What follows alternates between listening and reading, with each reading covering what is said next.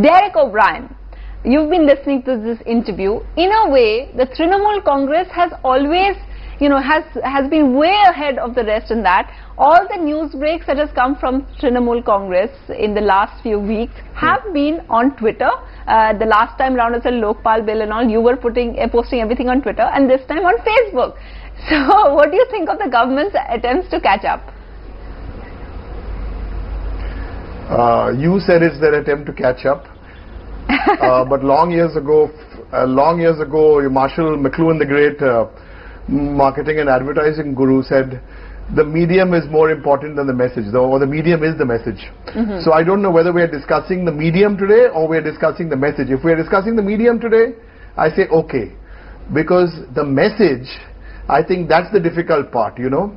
Yes. If you look at it in classical marketing terms and you go to the four P's, you talk about product, placement, promotion. But the problem with the government now is how to fix the biggest P of them all. They've got to fix the big P, which is the product. Yes. So, so, so all this kind of communication, I, I, I, I'm sure Mr. Pitroda has made a noble effort uh, today. But unless they fix the product, which is in a total mess, and I think you need to really, uh, uh, Sunetra, look at this communication in a 360 degree kind of way. You know, just Twitter or just Facebook will never help. You've got to be at the roadside meeting, you've got to be at the tea stall, you've got to be in the cab, the, uh, you've got to be in the newspaper. There's a full 360 degree communication. And those political parties which understand that it's not only Twitter and Facebook which is going to work, but it's this 360 degree communication which is going to work, right down to the block level meeting, right down to the small roadside meeting. That's going to be the defining factor think, in, and you in, think in India. people, and you think this government is not doing the 360 well? See, Sunetra, this is a easy time for uh, bashing this government on communication because I think everyone watching on your program, I'd leave them to judge, you know, whether suddenly out of this blue, what are we discussing today? Are we discussing the Twitter? Are we discussing that the government used Twitter as a medium? Or are we discussing the content? No, We're no. not discussing the content because they don't because they don't have any content to discuss. So we are discussing okay a, a very innovative medium, and I we don't know, and only time will tell. Is this an idea? Is this truly a big idea? What happened today, or is it a gimmick? I can't sit here and judge whether it's going to be an idea or it's going to be a gimmick.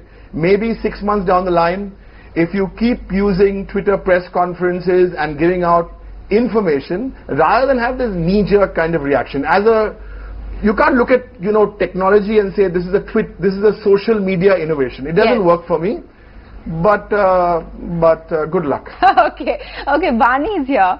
Vani is one of the you know young BJP leaders who tweets a lot uh, on see a lot of. Uh, do you see things changing that way as a young politician? Do you have to tweet now? I know Anurag Thakur of the BJP also tweets a lot. Do you have to tweet?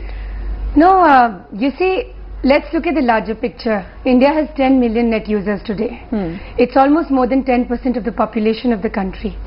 So, you know, if they have a voice, that voice needs to be heard. But I'm very intrigued at all these big words Mr. Pitroda was, uh, you know, uh, speaking in his interview, democracy, discussion, debate. Also, uh, curiously, his conference was called Democracy of Information. Yes. I don't know. I mean, these two pictures don't match. This is the very government which slammed, uh, you know, social media. Uh, is Mr. Kapil Sibal and Mr. Pitroda on the same page? I do not know. And a lot of net users in the country today, also a lot of youngsters will be asking that question. I mean, they all had the black DPs. They all, they all Yes. had their own, uh, you know, questions. So, is it a situation where when the government wants to say something, then we have to nod our heads and say, yes, very good, congratulations, you have uh, finally realized the power of the social media. But on another hand, when it is about criticism, when it's about a debate, when it's about something that they wish to uh, probably not agree with, then they say, no, no, no, no, ban, ban, ban, censor, censor, censor. And also I want to use uh, uh, this medium and tell the viewers that this government also went to United Nations last year and spoke about internet censorship and becoming a part part of a country Okay. pool So which will look at inter- internet censorship. So if this is actually about reaching out to the youngsters and to the uh, 10 million You which think is using hypocritical? internet, that's it's hypocritical. It's double Yeah. standard. Okay. And also, uh, also I looked at the conference of Mr. Pitroda. I was very much online at that time. You were online. He ducked all the questions that so many young people asked Which him were what? about What were internet some of the most censorship. in- So many people said that you are the people who actually No. wanted to ban Twitter and now you're doing a conference on Twitter. You're calling it democracy of information. According to me, I think it is propaganda of information. When you want to propagate, when you want to do propaganda, you use social media. See, the power of the social media today is also about voices which may be voices of dissent. Do we have that intention amongst us? Also the government dissent. to Okay. actually listen to those dissenting Derek, you wanted to add to that? Well, actually, uh, the lady from the BJP was uh, following Tripathi, the yeah. uh, press conference. Yeah, Vani. Sorry, Vani. Yeah. And I think uh, this is the beauty of politics because today, for example, in Bengal, uh, we were this morning at uh, Singur. Today is the sh- big Singur day. Today is Singur day in the morning, uh, through the day. And in the afternoon, there was a big uh, rally which civil society brought out for FDI in Yes. uh, against FDI in retail. Now, because of these two big events, ground events happening in Singur and in, in, in the heart of Calcutta, I didn't get time to even send out a tweet. So you have to, you know, that's why I said it's very important not to get too carried away uh, with this social media. It's very important. It's very important and it will have a big role to play. Why do you but think we Derek, why do you think that the political class, especially in the UPA, because you know they're more old-fashioned. Perhaps BJP, we've seen Narendra Modi do that very popular Google Hangout recently. Uh, you, of course, uh, Yeah. all your news comes from Twitter and all. Why do you think the old no, that's Congress? not true. Sunetra, Sunetra. Yeah. No, Sunetra, What? that's not true What? that all Trinamool Go- go on. news comes from Twitter. A lot of things come out on Twitter. We got a lot of reaction. Mamta Banerjee's reaction to FDI came on Facebook, and and a lot of yeah, things. Facebook. Yeah. I think Mamta, Mamta di, Mamta di, in the last three, four years, she has been following the different social media and Yes. never got involved herself.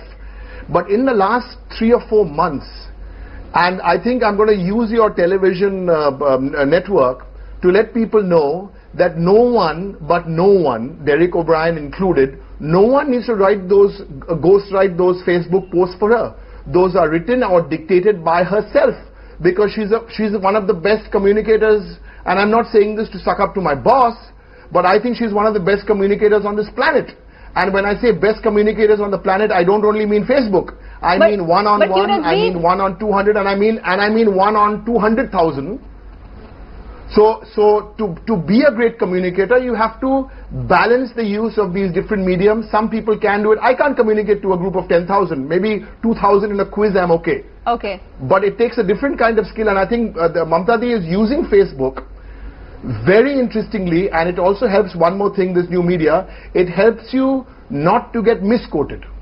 Okay. Yeah. Actually, actually, that's a very valid point. When we looked at what Narendra Modi ji did with the Google Hangout, he was talking to a global audience. But why? I mean, I mean, I mean, I believe, you- I believe, I believe, I, I didn't see that one. Neither did I. You know, part of, we just had a reporter who uh, took part in that. But I believe he screened some of the questions, which, of course, as you pointed out, even Sam Pitroda didn't answer a lot of questions, which were You tricky. see, you see, why the the- part of the hangout that I saw, it was a live global audience. Yes. And, uh, uh, you know, uh, uh, the, this famous actor that we have from Bombay was the interlocutor, Ajay Okay. Devgan.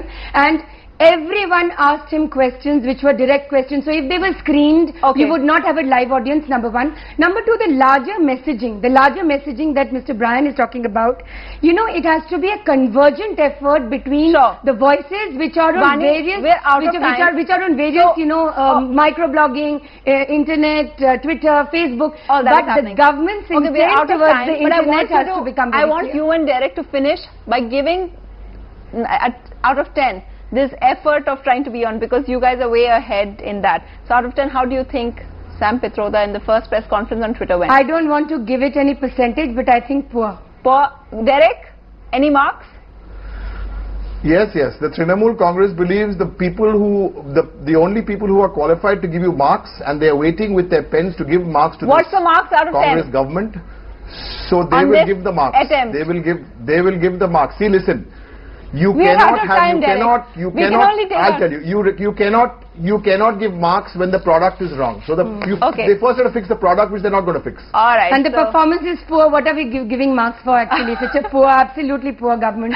Uh, Lots of story complete. Not not Okay, a huge, but then we don't have the anyone from the government defending it just right, so maybe that's not fair. Vani Tripathi, Derek O'Brien, thanks very much for that. you. Good night. That's all we have on the special at uh, 10 tonight. We'll be back again tomorrow. Join us then. Goodbye.